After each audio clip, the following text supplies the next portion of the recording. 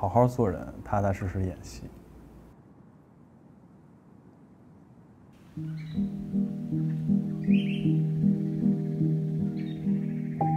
其实我发现，当你更专注于去做这件事本身的时候，呈现出来的照片会更好、更自然。你真的是在想，我脑子里面要做一个什么东西，然后手就自然而然做出来了，然后其实镜头里面拍摄出来的东西更真实。做陶艺它需要特别集中精力。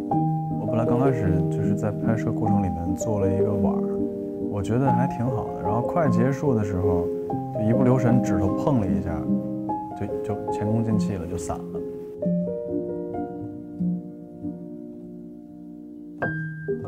我觉得是把握好这个度吧，因为有一些小的设计、小的匠气，也可以让一个角色、一场戏增光添彩，然后可以让表演锦上添花。它是我的事业，然后我就用一份热爱去做好它。